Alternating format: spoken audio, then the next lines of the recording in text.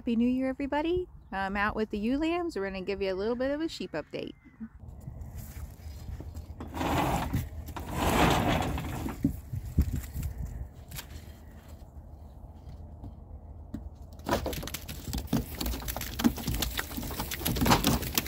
Wow.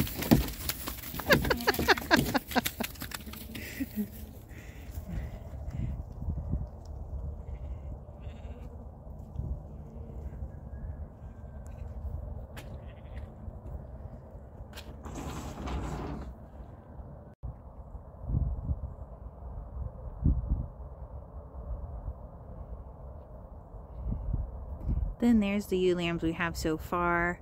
There should be 29. You can see the steer in the background spying.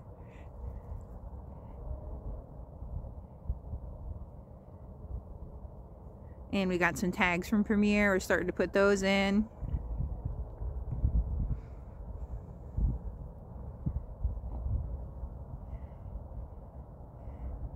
And then you can see the red marks. A few of them are bred. To be blunt, most are not. That's unusual. Not sure what happened this year. It um it would be rare for all the lambs to breed, but normally most. So not sure what's shaking this year. But we are pulling these guys off of the main flock.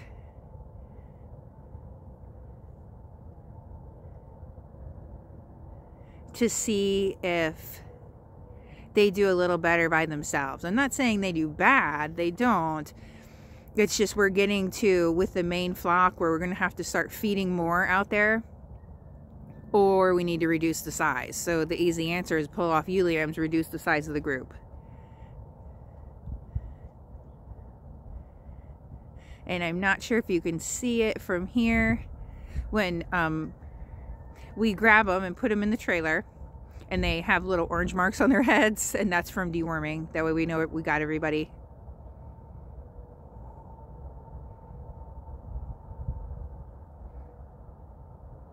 And then as you can see it's really soggy out here.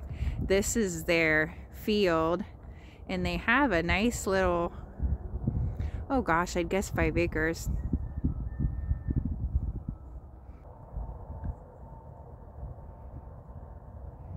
But anyway, there's a closer look.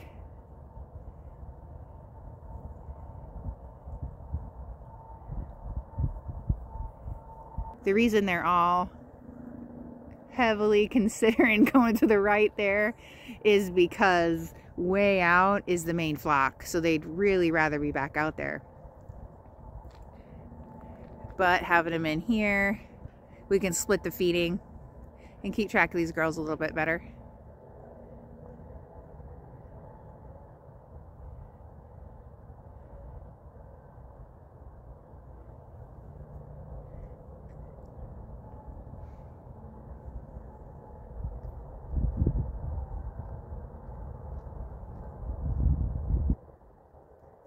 And the other various kind of little dots on their butts those are from dewormings throughout the year because remember these gals were born this spring.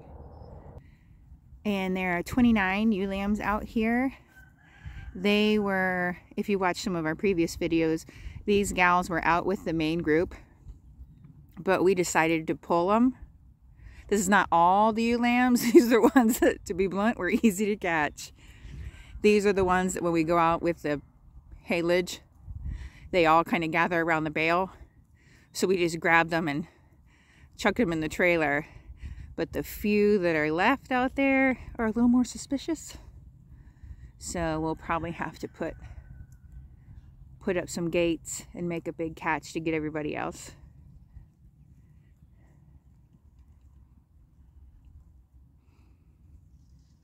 Anyway, the reason we pulled them off is the sheep have most of the stockpile eaten, the main group. So they're relying more and more on just the haylage. And then there's some dry hay out there as well. So if we pull a few head out of that, just pull some out of that group, well then there's less demand out there. And since this is a ton closer to the barn, these gals are easier to manage up here. And since they're younger, if anybody's likely to need a little bit of a bump in feed or something, ewe lambs are always a good place to put it. If you notice, like the gal who's walking to the right right now, has kind of a red butt, so she's bred. But to tell you the truth, not a ton of the ewe lambs bred this year, which is weird. Which is weird. Usually it's not everybody ewe lamb wise that breeds, but I have to admit, like if we keep 50 back, I'd expect 40 to breed. So we're definitely running less than that. And they look pretty good. They're in pretty good shape. You can see we're starting to, we got in tags to tag the whole group. And we did a couple while we still had them on the trailer just to get a feel for tag placement. Anyway, everybody will be getting tags this year. So anyway, we're anticipating at least 10 more ewe lambs out with the main flock. And they're a little bit more feisty than these gals. So take a little bit more effort to catch. But we'll work on getting a hold of them. And as you can tell, this weather is crazy nice. It's like, I don't know, it might even be 50 today. For the end of the year, that is crazy talk. We've been getting a lot of rain. But wow, this is nice weather.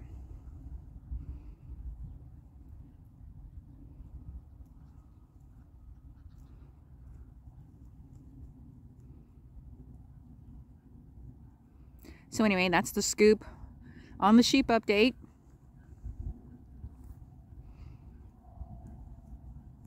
So we'll hopefully add at least 10 to this group whenever we decide to make a big catch.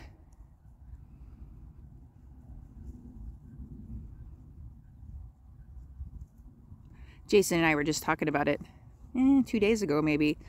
And honestly, they're so wet that grabbing them Wow, you just get soaked right away. So we were hoping for them to dry out, but doesn't look like it's happening. At least not in the next couple days. So we might end up just doing it. But the ones that are out there are holding their own. So anyway, that's the scoop from Sheep World for right now. If you have any questions, let us know. We'd love to hear from you. And have a super day. Then, as you can see from the pasture, there is some grass here, that's for sure. But this won't last these gals all winter. We don't expect it to. But the so they will end up needing fed out here. But the reason we pull them off the main group is we've tried feeding the main group like a bale and a quarter or a bale and a half. And honestly, that's just ends up being such a pain in the butt to get that second bale out there. Then if you leave it out there, they'll tromp all over it and then they won't eat it the next day. So you got to take out the part that you don't feed. Then it ends up just being, well, a pain. So it's, we decided it would be easier rather than feeding a bale and a partial bale to just pull a few head off. So anyway, that's what these gals are doing here.